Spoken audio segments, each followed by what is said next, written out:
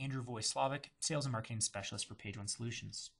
Today, I'm here to give you guys a beginner's guide to understanding Google Analytics. Main reason being, no matter what size of company you have, whether you're a, a plastic surgeon, a dentist, or attorney, or IT company, you need a website. And for you to get the most out of that website, you need to be understand, am I getting the most out of it? Am I getting the right type of traffic? And how can I improve it? So we're going to give you guys a beginner's guide to that. Today we're going to cover uh, the Google Analytics dashboard, some basic visitor information you should be able to understand, traffic sources, and content. Now, first thing I want to show you guys is the actual dashboard you log into within Google Analytics. Every single thing you're going to get is a 30-day snapshot of what is happening. The main reason I like that is because you can really see in a short time frame what is happening with your website and your traffic. Typically going through somebody's website, you can say, hey, this all looks fine and dandy, and then boom, what happened to my traffic? Well, this right now is actually around the time that Google Freshness took place, and Google changed a lot of their format. And right now, it's actually uh, their search format and their algorithm. I apologize. And right now, they're editing that, and it's kind of shaking out. So the site will go ahead and see its traffic go back up. Now, another thing that we get is some basic site usage information from the amount of visits to our website, the amount of page views total, to amount of time spent on our website.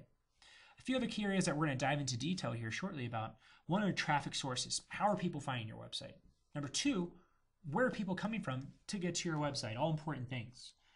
First thing I want to show you is just some basic information on the visitor dashboard. Um, I feel that this can and should be um, one of the most helpful pieces to you. Some basic numbers for you. Average time on site really should be at least about two minutes these days. Two to three minutes is uh, pretty good for amount of time spent on a website. Another thing that we're really looking at um, is to make sure that we're getting the right kind of traffic. And what I mean by that is, am I getting it from the right places? Are you getting too many people finding your website from China, from Australia, from New Zealand? I don't know. Now, let's say you are a local company in the United States. You want to see exactly where all of your visitors are coming from. Now, if you're a national company, you can see uh, graphically where it's coming from, or you can dive down and kind of see um, that actual statistics of the state and the visits. Now, for specific local companies, you know, specific cities, you can see exactly where your traffic's coming from and if you need to focus on optimizing in a new area or make sure that you stop optimizing after a certain area if you don't like that traffic. One question that's not necessarily related to where people are coming from is how they're getting to my website. A lot of people are asking me these days, does a mobile website make sense for my business? Well, by going to the visitor information, the mobile tab and the mobile devices, you can actually see how many people are coming to you from a mobile device. Really, at the end of the day, if you're starting to see 15% of your traffic, really 10 to 15% of your traffic, if not greater, coming to you through a mobile device, yes, you need a mobile solution. Anything less than 10%, don't sweat it just yet. Now, traffic sources are absolutely imperative because this is how people are finding my website.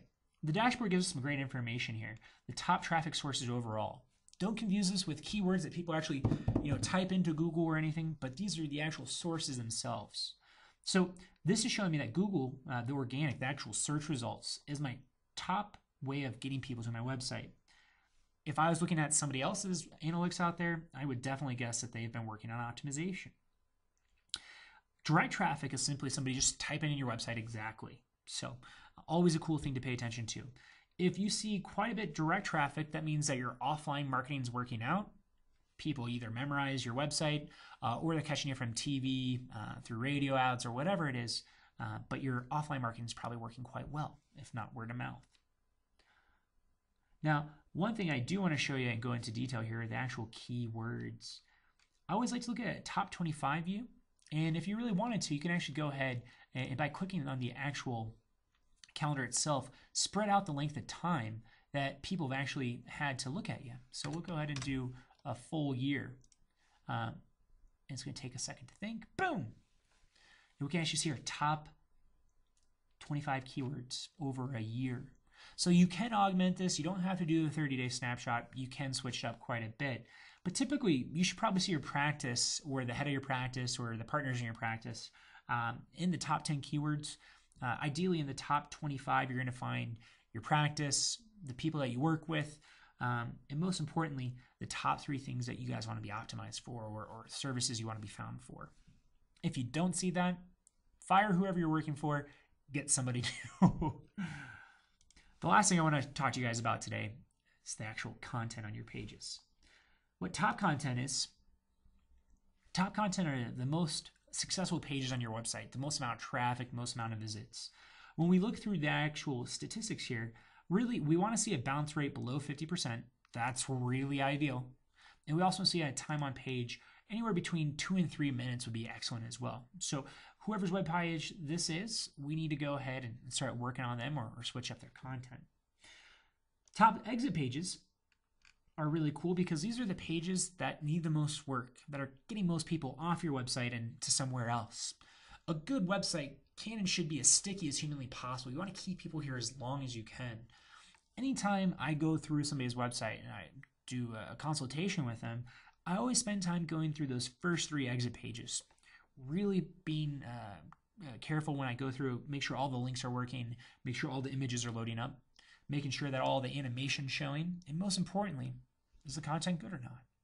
Those are all things that you should be looking at in all of your top exit pages. So content, links, images, what's broken, what's not working. Now, top landing pages is a little different. Top landing pages are actually how people or what pages people are landing on to get to your site. So not just your home page can drive traffic, but these are great ways of actually getting more and more people back to your website. So what pages are actually driving the most traffic overall?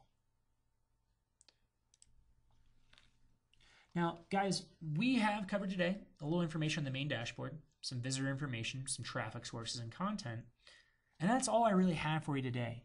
I know it's a general high level overview of every single thing that Google has, and it may not be the, the best nor is it the worst. But if you do have questions, if you want to see some more specific areas of the analytics, give me a call. My number is 303 396 1211. Or if there's something you want me to talk to you about or give you some great information on, you can send me an email as well. Andrew V at Page One Solutions. Take care.